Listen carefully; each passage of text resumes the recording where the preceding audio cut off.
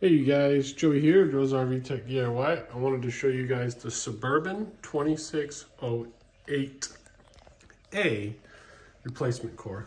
So it comes with the little plastic sleeve and it also comes with a new exhaust vent as you can see here.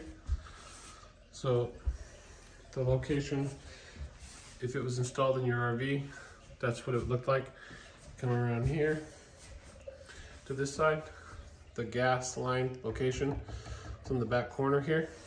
So if you were standing outside your RV, the gas line would be on the left. If you were inside your RV, the gas line would be on the right. This is a brand new unit. Um, it does have some numbers on it. Some of them do. Maybe Suburban wants to explain what the numbers mean to us. I think maybe it's just an inspection or, or a number or something. I couldn't tell you, but I've seen it on a few of them now. So it comes with the board, the wiring harness. There's, you know, everything's complete in here.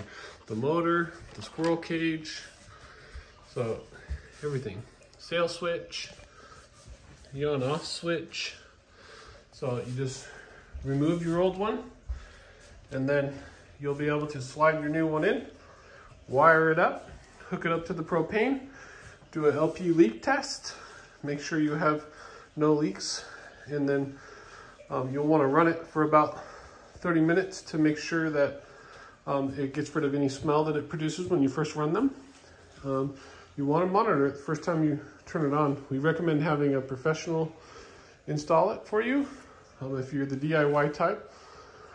Um, we highly recommend you uh, mark all of your wires and everything when you unhook them and you go to hook them back up. So um, you don't have a problem when you go to rewire it. But anyways, guys, this is the 2608A. We do sell this on our website, worldofrvparts.com. I'll post a link below down in the description. We have these in stock.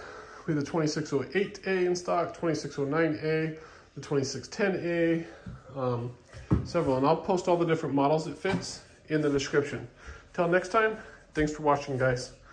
there's Toby saying hi. So we're going to box this back up, put it back in the warehouse.